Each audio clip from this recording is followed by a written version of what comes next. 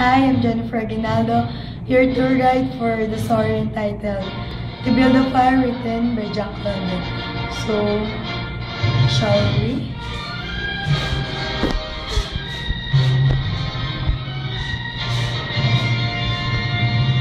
To build a fire started at 9 o'clock in the morning when an old brave man tried to cross the Yukon Trail. A Yukon Trail is in the northern Canada. It's in the border of Alaska and in Columbia. A Yukon Trail is a three-feet layer of ice. Um, this man was a chechaquo. Chechaquo was a newcomer from the land. So this is his first winter in the land. That's why he's so excited to feel the, the essence of winter. Before he continued his journey, there was a man from the Sulphur Creek tried to warn him. The man said that he cannot uh, cross the Yukon Trail within 50 degrees below zero alone. He need to be accompanied by someone. But he continued his journey with just a husky dog, accompanied by a, by a Siberian husky dog. So as he goes along his journey, by 12 o'clock, he decided, by 12 o'clock, he decided to take, he took, to, took his lunch. Um, so he sat and put out his biscuit and he he put out his, his mitten um, to bear it for the biscuit. This time it was no longer 50 degrees below zero. It was 75 degrees below zero.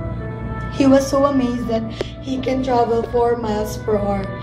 And he continued his journey after eating his lunch. This man was so observant with his surroundings. Um, every step, he knew that um, one wrong move and he, he will die. I mean, he can die. It can cause him to death.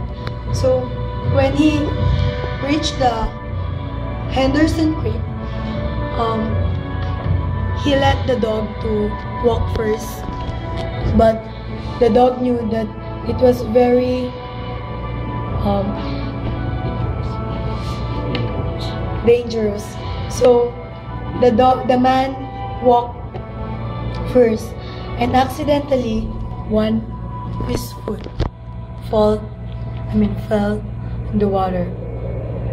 So he decided to be late for an hour just to build a fire. Um, at first attempt, he built a fire. His um, he built a fire was very successful, but when the fire was already burning, um, he realized that he built a fire under the spruce tree. A spruce tree is a kind of tree where you can see you can see in winter areas. So in the spruce tree there are a bunch of ice in its branches, hanging on its branches. That's why when the fire got burned, the bunch of ice melted and it all fell on the on the I mean on the fire and on him. So the fire, the roaring fire was gone now. He decided to build another fire in an open area where there were no trees. Where there were no trees. So when he put out the matches, um, it accidentally fall down in the snow and he tried to pick them up but this time he can no longer move his hands so he decided to fold his arms like this and he pick up the the matches and he decided to scratch them on his legs. And the first attempt was not successful.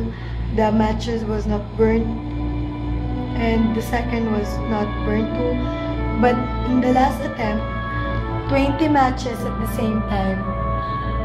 And when he scratched them on his legs 20 matches get burned. And he so he feels so comfortable with the heat. And it caused his arms to get burned. But this man never but this man um,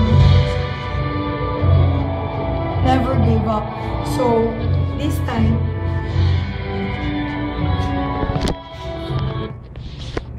this scene the man remembered something. Before he went to his journey there was a man same same man as him. This man tried to cross a winter area. Um this man um he he killed his deer just to survive. So he thought that I mean he thought to kill his dog just to survive. Because he need he need to survive he need to live. So when he put out his his knife he called the dog in a suspicious way. And the dog knew that the man um the dog knew that man has a plan for him. He he didn't go nearer to the man but rather he ran away from him. And the man followed him as he ran. And as they ran together the man fell down. He can see the campsite but he can never he can never walk. He he cannot able to stand up. His foot were frozen. And his whole body were frozen now while the dog was running. The dog noticed that the man was not moving anymore. He come closer to the man. And the dog realized that the man was already dead. Um, the dog don't know how to do, didn't know what to do, so he just howled to symbolize the dog's lamentation for the man.